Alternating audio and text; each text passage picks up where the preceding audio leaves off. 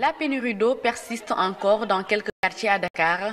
À l'instar des habitants de Grand plusieurs consommateurs sont toujours à la recherche du liquide précieux depuis plusieurs mois maintenant.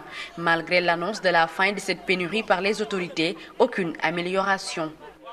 L'eau est vitale et si on en manque, c'est un véritable problème. Nous sommes fatigués à cause de cette pénurie. Tout ce que nous demandons, c'est d'en finir avec ce calvaire pour de bon. Sept mois déjà que l'eau ne coule plus régulièrement dans ce quartier, seul un robinet ravitaille ses habitants et paradoxalement, ces derniers payent toujours leur facture d'eau. Pas plus tard qu'avant-hier, on m'a amené une facture d'eau chez moi.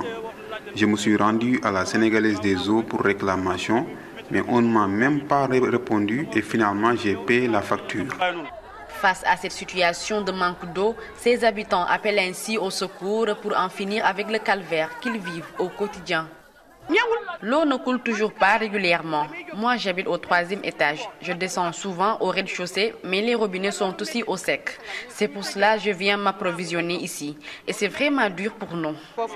Les autorités avaient promis une amélioration dans l'approvisionnement en eau ces derniers jours. Le président Macky Sall dit avoir instruit le gouvernement il y a de cela déjà trois ans d'engager une action globale pour trouver des solutions définitives à ce problème.